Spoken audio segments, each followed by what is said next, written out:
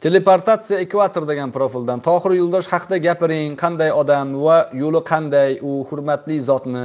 Shu savollardan shar'iy maqsadda shar'iy manfaat olasizlarmikin? Shu savollar berayotganlar tohir yo'ldosh vafot topdi. Musulmon deb bilaman. Alloh rahmat qilsin. Qanday holda vafot topganligi hmm, bizga qorong'u lekin tohir yo'ldoshning yonida yetti yil uning telexraniteli bo'lgan yonida u bilan birga yashagan odam hozir zarafshon anaqada o'tiribdi. Kalomkaga chiqqan xullas. Yangi yo'ldami qayerda bu odam u ichkaridagi voqealarni hammasiga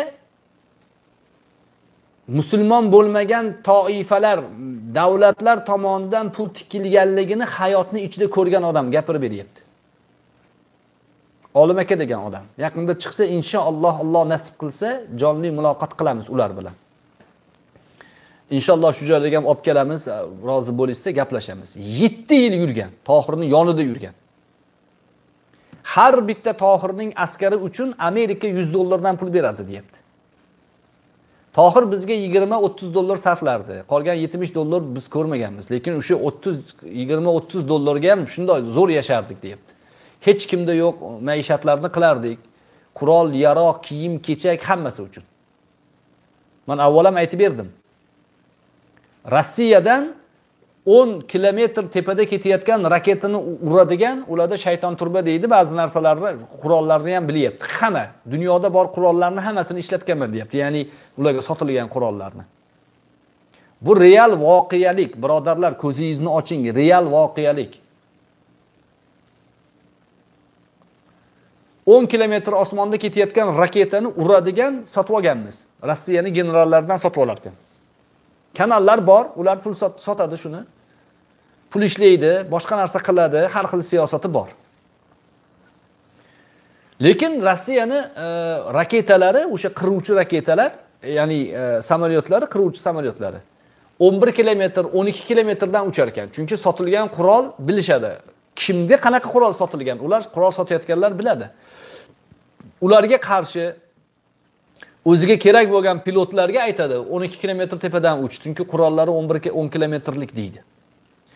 Lekin kimnidir qurbon qilibyubormoqchi bo'lsa sakkiz kilometrdan uchirishadi uni. Mujohidlar uradi uni. Shunda olim aka aytyaptiki olim aka biz deyapti o'sha e, shayton turbaga o'qni e, joylaganda uni o'qni davomiga yana bitta o'q joyladik. U borgan joyda yana ikki kilometr yuqoriga razgon oladigan. Shunaqa qilib bir raketani bitta qiruvchi samolyotni urdik deyapti. Bu man shaxsan o'zim eshitmayapman uni. O'sha eshitgan yigirma to'rt soat billa qirq yettinchi zonada o'tirgan e, ahli ilm odam aytyapti shuni.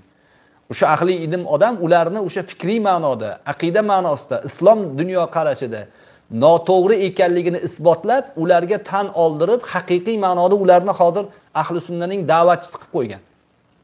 Hayotda ko'rgan odamlar. Raket o'sha samolyotni urdik deyapti. Ursa o'n minutda rossiyani generali telefon qilyapti ekan tohirga sizlar amerikadan e, o'sha qiruvchi samolyot uradigan qurol sotib oldinglarmi yo'q sizlarniki o'n kilometr edi nimaga o'n ikki kilometr urdi deyapti deydi. Tohir yo'ldosh yaxshi inson musulmon odam. Lekin bu o'yinlar youtubega chiqqan paytida o'ziga ekran qilib tashqariga musulmonlarga da'vat qilib jihodga degan paytlarida man bu qo'limni kesib tashlayman kofirga uzatsam degan gaplarini eshitganmizku? Qurolni kimdan olyapti ular? Ularning hisob kitobi bizga emas lekin. Birodarlar shuni ko'zingizni oching. Shu jihod maydonlarida yuribmiz degan odamlarni qurol sotib olayotgan davlatlari musulmonlar emas. Dunyoda beshta mamlakat bor. Dunyo bo'yicha eng ko'p qurol sotadigan mamlakat. Birortasi musulmon emas. Bu beshta mamlakat birlashgan millatlar tashkilotida veto berishlik huquqiga ega davlatlar. Vetoni bilasizmi? Veto shundayki birlashgan millatlar tashkiloti butun dunyodagi e, davlatlarning rahbarlari masalan deylik suriyada urushni to'xtataylik deb qo'l ko'tarsa to'xtatishlikka urushmaylik bo'ldi urush to'xtataylik desa birlashgan millatlar tashkilotining askariy quvvati kirib urush to'xtatishlikka haqqi bor. Shunda beshta davlatdan bittasi qo'l ko'tarsa urush to'xtamaydi. Qo'l ko'tarmasa. Veto e'lon qila oladigan qarorga qarshi bitta o'zining huquqi yetadigan davlatlardan beshtasi musulmon bo'lmagan davlatlar. Shuning uchun rajab toyib erdo'g'on aytyaptiki gaplarida siyosiy gaplarida dunyo beshdan buyuk deyapti. Dunyo beshta davlatning og'zidan chiqadigan gapga taqdirini bog'lab qo'ymaymiz bizni ham gapimizni eshitishlaring kerak deyapti. Nimaga? O'sha beshta davlat urush to'xtasa qurol ishlab chiqarishlik e, sanoati putur yetadi. O'sha mujohidman deyayotgan birodarlarimiz o'shalarning bozoriga savdogar ularning xaridori ular. Ulardan qurol olib ming afsuslar bo'lsinki bizni murtad deb yaqinda boramiz sizlarni kallanglarni olamiz deyapti. Bu katta musibat. Tohir yo'ldoshning shaxsiyati to'g'risida dinga bo'lgan tashvishi g'ami e'tiqodi biz bilmaymiz uni. Alloh huzurida inshaalloh hisob kitobi bor. Umid qilamiz alloh mag'firat qilsin. Unga nisbatan duo qilishlikda musulmon deb duo qilamiz. Lekin ilmiy salohiyati yetarli bo'lmaganligi uchun ulamolarning gapiga quloq solmay qo'yganligi uchun hatto abduvali qorakaga ham oxirgi paytda quloq solmay qolgan bizni o'zimiz shayxlarimiz bor deb o'sha tolibonlarga qo'shilishlik uchun o'sha tomonga chiqib har turli ishlarni qilgan. Olim akaning masalasi. Olim aka keyin nima qildi? Olim aka tohirga qarshi chiqqan keyin. Ba'zi masalalarda ixtilof bo'lgan. Keyin olim akaga aytgan sizni gapingizdan sassiq gaplar kelyapti. O'zingizni o'nglab oling degan. Xullas ba'zi vaziyatlarni aytdi hozir bu joyda aytishlik to'g'ri emasdir. Juda xunuk vaziyatlarni ko'rgan u va aytganki ollohning balosi yog'ilsa bizga yog'iladi degan. Qochgan keyin. Tohirning oldidan chiqib ketgan. Aytyapti o'zi tohirga qo'shilgan odamni qochishi imkoniyati yo'q. Qochib o'tdan chiqib ketaman degan odamni o'ldirishgan xorazmdan yigirmaga yaqin odamni borib orqasidan borib bo'ldi ketaveringlar deyishgan biz shariatga muvofiq ishlar yo'q ekan deb tohirga to'g'ri aytishgan bolalar. Bo'pti ketaveringlar degan ketgandan keyin orqasidan odam jo'natgan borib so'yishgan so'yib o'ldirishgan hammasini. Qaytib bo'lmaydi. Olim aka qochgan. Qochib o'sha eronning qaysi joyida pokistonning bir dala joyida tog'li joyga chiqib dehqonchilik qilib umrini ko'rib o'sha yerda bir afg'on xotinga uylangan uylanib yurgan e, keyin pokistonni xavfsizlik xizmati kelib ushlagan bu kishini. Ushlab pokiston xavfsizlik xizmatini yerto'lasida o'tirganda amerikaning elchixonasidan odamlar kelgan olim akani oldiga. Biz bilamiz seni kimligingni kimlar bilan yurganingni bilamiz. Nima qilib yurganingni bilamiz. Sanga xohlasang atrofingga odam to'plab beramiz qurol beramiz. San alohida jamoat bo'lib tohirga qarshi urushasan rozimisan degan. Agar bunga rozi bo'lmasa nima qilasizlar desa o'zbekistonga berib yuboramiz degan. Deganda vaziyatlarni ko'rib holatlarni ko'rib olim aka o'ylaganki o'yin katta o'yin bu undan ko'ra nima bo'lsa ham o'zimni yurtimda o'zim tug'ilgan joyda vafot topsam o'sha yerda qolay deb rozi bo'lgan o'zbekistonga deport qilib yuborishgan anavi amerikansklarni zakaziga yurmagan.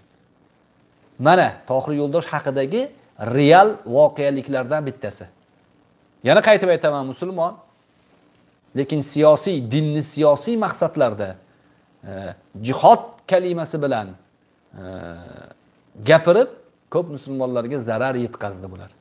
Hazrat rohimaulloh turkiyada yurgan paytlarida tohir yo'ldoshni komandasi kelib taklif qilgan birlashaylik. Bu zayniddin asqarov degan bir e, ularni matbuot kotibi bor edi.